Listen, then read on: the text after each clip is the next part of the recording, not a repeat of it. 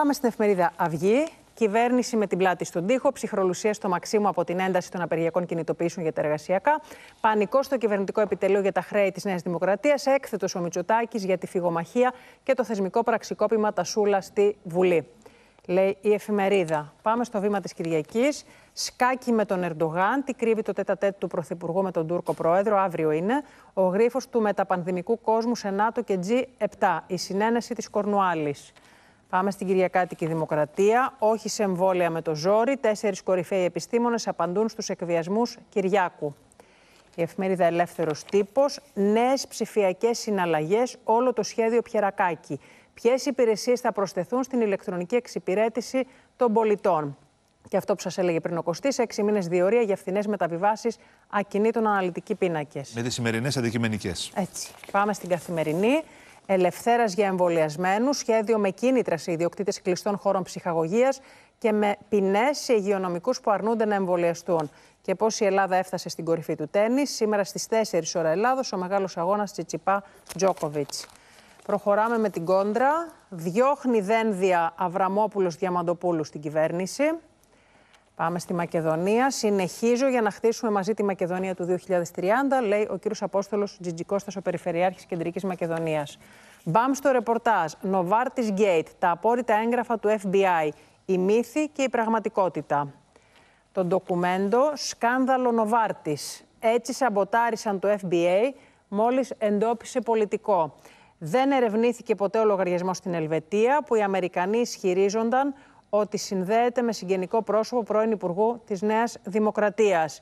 Τι αποκαλύπτεται, λέει, από το πόρισμα καταπέλτη του Συμβουλίου της Επικρατείας. Προχωράμε στο παρόν της Κυριακής. Πολιτήριο στη χώρα βάζει ο Μητσοτάκης, λιμάνια, μαρίνες, πακέτα της ΔΕΗ, δρόμοι και δέπα στο σφυρί. Το πρώτο θέμα το μαγικό ψηφιακό χαρτί για όλα, Green Pass, από, πρώτη, από την 1η Ιουλίου, ελεύθερες οι μετακινήσεις στην Ευρωπαϊκή Ένωση με το, ψηφιακό, με το Ευρωπαϊκό Ψηφιακό Πιστοποιητικό COVID και τα τρομερά παιδιά του τέννη. Α, δείτε το και αυτό, συγγνώμη.